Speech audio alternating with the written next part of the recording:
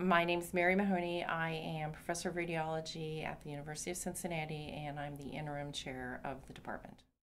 My research is primarily in the area of better, earlier mechanisms for detecting and diagnosing breast cancer, and then following women as they go through their treatments for breast cancer.